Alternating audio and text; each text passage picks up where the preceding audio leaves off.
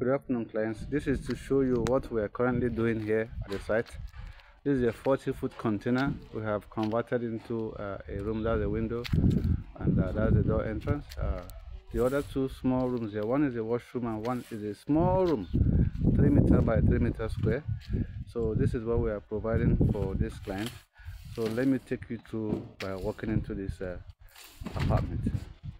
So we'll just have this for now okay? Okay good. We're in there. As you can see right ahead there that is where you have uh, the tv wall bracket. This is mounted inside the container wall. At the end of the day uh, it supports the strength of uh, a 52 inch screen. So you can see go towards this way. This is where we intend to have the kitchen. You can see the kitchen here. There's a window. That's a socket. There's another uh, socket make provision for here.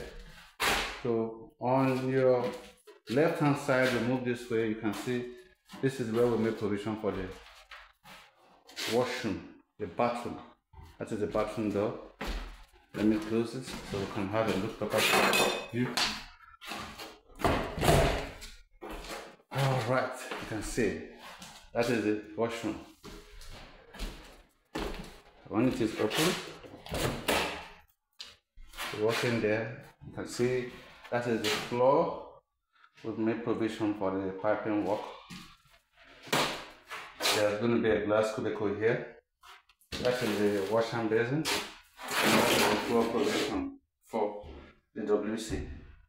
Okay, so we'll go out again. You can see the entire room from this section. On your left side, that is the kitchen area. Look at the floor marking see the blue colors there. That is where we intend to mount the kitchen cabinet. And look at another floor marking there and see. That is where we intend to put the wardrobe. It goes up to this place. So look up we have the control switch box here.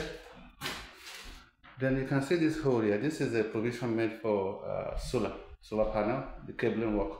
So that once they are ready they can pass it in and interconnect it. Then uh, look straight in. This is a room per se that's the TV. You have two windows here, one window. And this client requested for one hanging bed. This bed swings. When not in use, you can pull it up.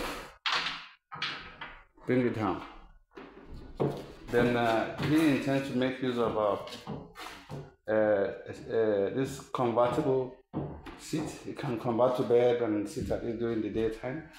So this is what we have and uh, that's the kitchen section. You see the hanging light here. Alright, so when we move out from this apartment again, I'll take you into smaller room.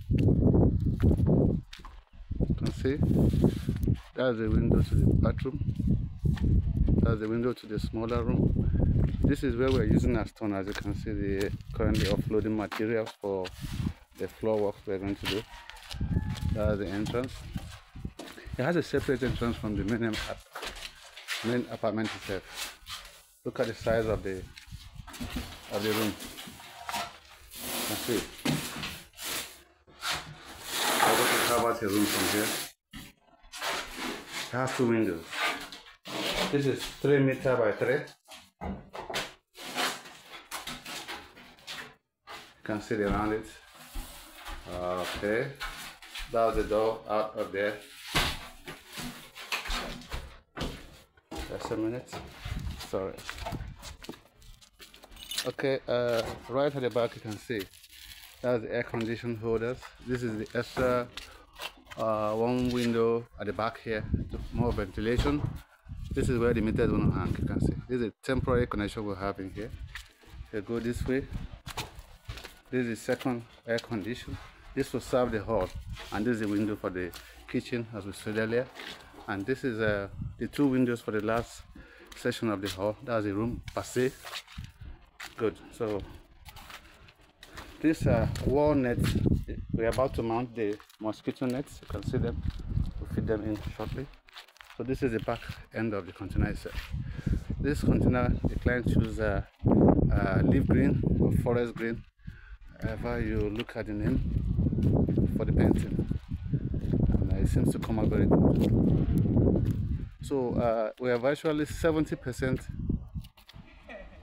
uh, completion. So we're hoping by this weekend uh, we'll have the uh, the plumbing the, the, shower cubicles all fixed and uh, the floor tile completed. So we can do a final review of what we're doing. Thank you. Keep you posted on what we're doing. Thank you and have a nice day